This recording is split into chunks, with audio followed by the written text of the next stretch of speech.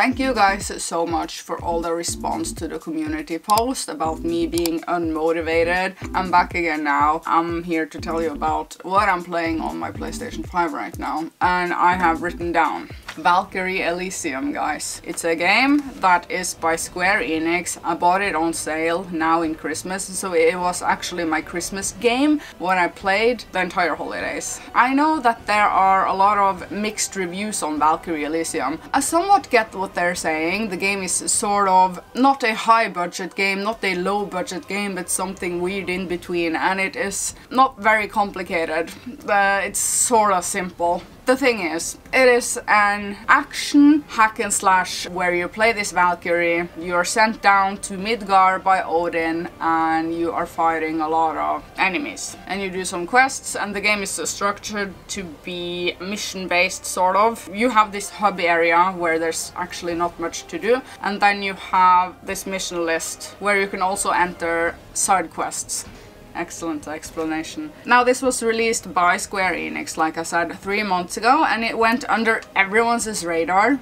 I know a Happy Console Gamer made a video about it, but back then I did not open my eyes to this game at all. It's something that just happened later when I was like, yeah, that game have seen it but never really cared. But then it was on sale, picked it up, I am not regretting anything. I am enjoying the game. It is just straightforward, hack and slash, set in Norse mythology, and there's so many games right now that are set in Norse mythology.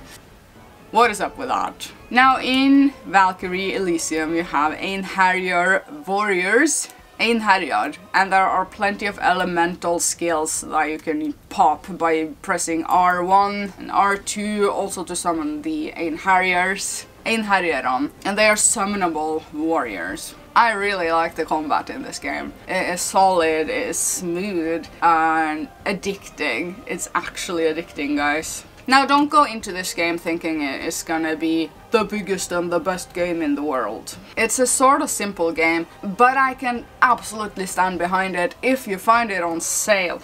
This is that type of game. I guess from the reviews that I've seen that it can be hit and it can be a miss for some people. Some people are slaughtering this game in the reviews saying it is the most boring game, the most repetitive game. Now, I don't always mind a game being repetitive. It's the way that it is repetitive that can be annoying for me. If I am loving what I'm doing and it is apparently repetitive, I can often not mind that. And this is the type of game where I did not find it to be boring or extremely repetitive. I mean, since I have played it the entire holidays and I've not put it away. It also has several different weapons that you can change by using the D-pad there. And you can also pop potions if that is something that you need to do. So yeah, Valkyrie Elysium uh, went under my ra ra radar.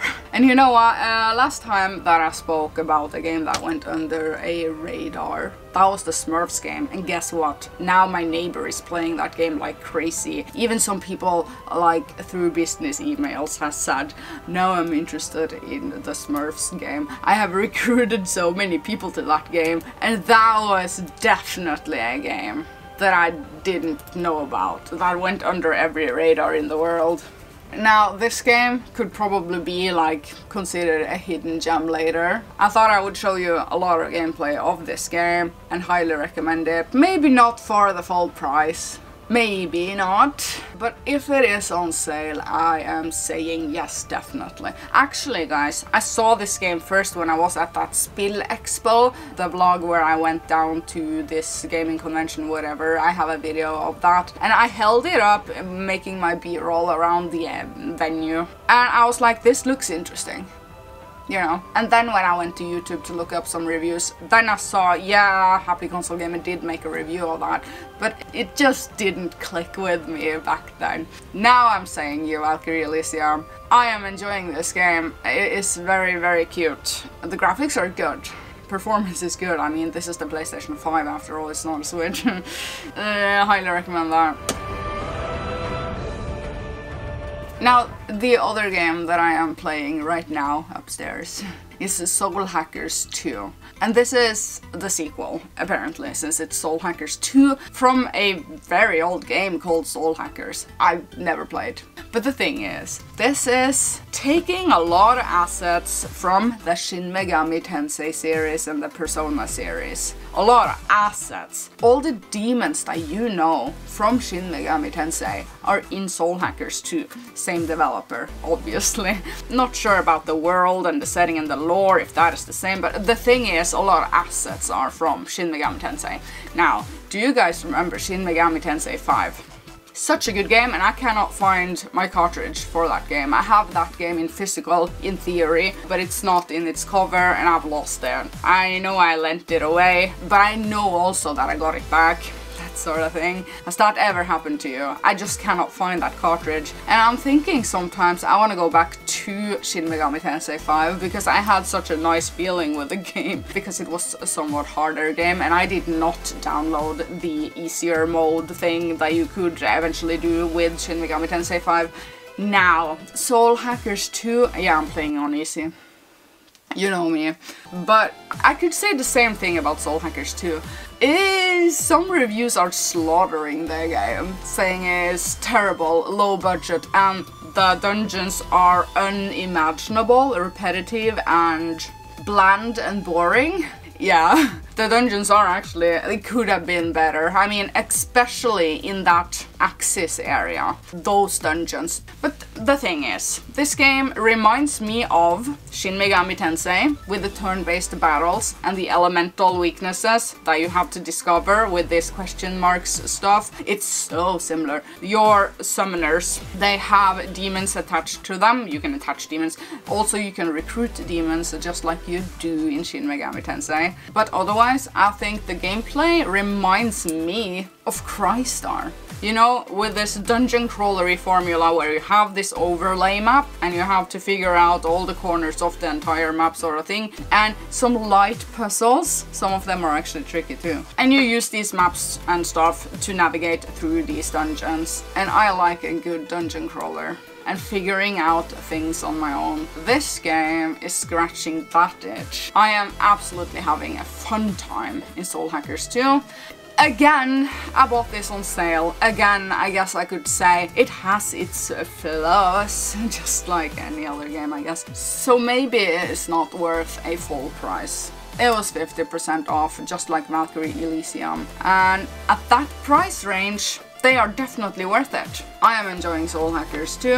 I am enjoying the story, though oftentimes in games like these, the story starts out so good, and then you have this dragging the story along sort of sequence in the middle of the game and then things picks up again. It's that sort of story. So Valkyrie Elysium and Soul Hackers 2 I am playing these on my PlayStation 5 and I am enjoying the heck out of them.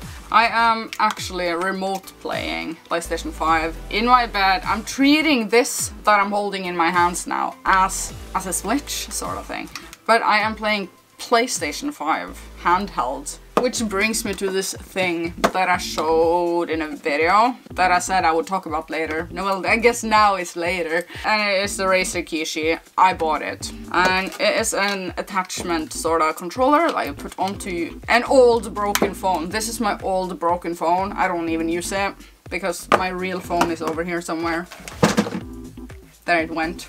But yeah, an old phone working perfectly. I am playing PlayStation 5 in any position, in bed, on the couch, anywhere. At home, that is, because it goes over the local network.